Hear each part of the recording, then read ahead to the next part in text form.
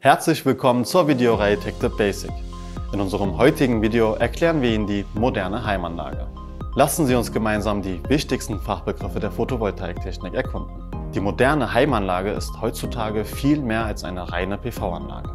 Wechselrichter und Energiemanagementsysteme werden immer intelligenter und umfangreicher in ihren Funktionsweisen. Auch bieten sie die Möglichkeit, unter dem Oberbegriff der Sektorenkopplung verschiedene Bereiche wie Heizen und Elektromobilität mit der Stromerzeugung zu vereinen. Die einfachste PV-Anlage besteht zunächst aus Solarmodulen und einem PV-Wechselrichter. Die Solarmodule produzieren Gleichstrom und der Wechselrichter wandelt diesen in Wechselstrom um. Was als nächstes folgt, hängt davon ab, wie der Wechselrichter in Betrieb genommen und parametriert wurde. Eine Anlage, die 100% des selbst produzierten Solarstroms am Netzanschlusspunkt in das öffentliche Stromnetz einspeist, wird dabei nicht zum Eigenverbrauch genutzt und der eingespeiste Solarstrom wird vergütet. Dafür gibt es zwei verschiedene Zähler, einen für die Einspeisung und einen für den Bezug. Anders hingegen ist es bei Anlagen mit Eigenverbrauch. Hier wird der selbstproduzierte Solarstrom für lokal angeschlossene Verbraucher verwendet. Sind keine Verbraucher aktiv oder wird mehr Strom produziert als verbraucht werden kann, so wird der überschüssige Solarstrom automatisch in das öffentliche Stromnetz eingespeist und verkauft. Reicht die Solarenergie für den Eigenverbrauch nicht aus, so wird Strom aus dem öffentlichen Stromnetz bezogen. Ein saldierender Zwei-Richtungszähler erfasst hier die Stromflüsse.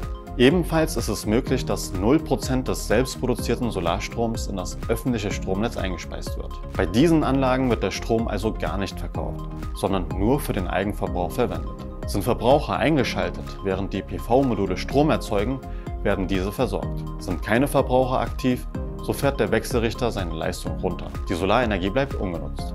Mit einem Smart Meter wie dem SMA Energy Meter am Netzanschlusspunkt weiß der Wechselrichter, wie hoch der gesamte Verbrauch des Hauses ist, um dann genauso viel Strom zu produzieren. Heutzutage ist vor allem die zweite Variante, also Heimanlagen als Einspeiseanlage mit Eigenverbrauch beliebt. Da in 2024 zum Beispiel die Strompreise höher sind als die EEG-Einspeisevergütung, zahlt sich eine besonders hohe Autarkie aus, anstatt teuren Strom aus dem öffentlichen Stromnetz zu beziehen.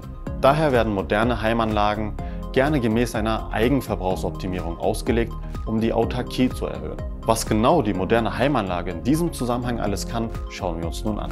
Durch die Installation von Batteriewechselrichtern und Batteriespeichern wie der Sunnyboy Smart Energy und der SMA Home Storage lässt sich einerseits der Eigenverbrauch optimieren, andererseits aber mehr Unabhängigkeit vom öffentlichen Stromnetz durch Notstrom- oder Ersatzstromfunktionalitäten ermöglichen. Vor allem im Sommer wenn besonders viel Sonneneinstrahlung vorhanden ist, gibt es hohen Überschuss an Solarenergie. Dieser kann in den Batterien zwischengespeichert werden. Nachts entlädt man dann die Batterie, um den selbst produzierten Strom auch dann verbrauchen zu können, wenn die Solaranlage gar nichts mehr produziert. Auch Wallboxen wie der E-Charger lassen sich passgenau in die Solaranlage implementieren.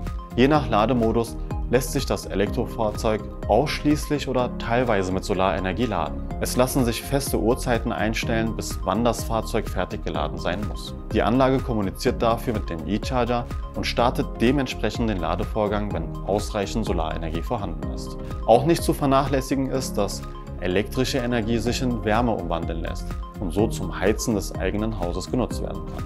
Dafür können Elektroheizungen, Heizstäbe oder Wärmepumpen zum Einsatz kommen.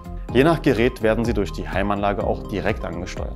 Die moderne Heimanlage ist darüber hinaus in der Lage, entweder spezielle Verbraucher wie zum Beispiel Waschmaschinen durch direkte Kommunikation zum Gerät anzusteuern oder durch Funksteckdosen Verbraucher an- und auszuschalten. Hier muss man nicht mehr auf gut Glück hoffen, dass die Verbraucher genau dann laufen, wenn gerade Strom durch die Anlage erzeugt wird.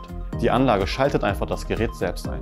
Bei vielen verschiedenen Verbrauchern und Bestandteilen der Anlage muss entschieden werden, wann und in welcher Reihenfolge die Verbraucher sinnvoll mit Solarenergie versorgt werden sollen. Steuerung und Regelung der Anlage über Energiemanagementsysteme wie dem Sunny Home Manager 2.0 ermöglichen einen intelligenten Energiefluss. Der Sunny Home Manager 2.0 plant anhand von selbstlernenden Verbrauchsanalysen und Wetterprognosen die Verbraucher ein. Hier können je nach Anforderung individuelle Prioritäten zwischen Verbrauchern festgelegt werden. Der Anlagenbetreiber kann zum Beispiel entscheiden, ob zuerst der Batteriespeicher oder das Elektrofahrzeug mit dem selbstproduzierten Strom geladen werden soll. Im Winter liegt womöglich die Priorität bei der Heizung und weniger beim Elektrofahrzeug. Je nachdem, welche Verbraucher in der Anlage vorhanden sind, wie viel Energie und Leistung Sie benötigen, wie das Wetter sein wird und wie die Prioritäten festgelegt wurden, maximiert und optimiert die Anlage die Energieflüsse und holt so ein Maximum an Eigenverbrauch raus, wenn so parametriert wurde. Es entsteht ein großes Netzwerk aus verschiedenen Geräten und Anlagenbestandteilen wie Wechselrichtern, Ladesäulen, Heizgeräten, Batteriespeichern, smarten Haushaltsgeräten und Funksteckdosen, die alle miteinander in Kommunikation stehen. Durch das zentrale Energiemanagement werden sie optimal aufeinander abgestimmt. Hier als Anlagenbetreiber nicht den Überblick zu verlieren, ist wichtig. Auf Anlagenebene lässt sich die Überwachung der Anlage über Sunny Portal powered by NXOS durchführen. Alle durch die Anlage gesteuerten Geräte können hier überwacht werden. Man erhält Live-Daten der Anlage und kann die Datenerfassung über Solarertrag oder Netzbezug seit Inbetriebnahme der Anlage einsehen. Auch erhalten Nutzer konkrete Werte darüber, wie viel Geld durch den Eigenverbrauch oder die Einspeisung erwirtschaftet wurde und wie viel CO2 durch die Anlage eingespart wurde. Für Analysezwecke kann der Verbrauch insgesamt oder von einzelnen Geräten nachverfolgt und ausgewertet werden. Vielen Dank, dass Sie unser Erklärvideo zur Heimanlage eingeschaut haben. Wir hoffen, dieses Video hat Ihnen bei Ihren Fragen geholfen. Weitere Videos der Serie TechTip Basic finden Sie auf unserem YouTube-Kanal.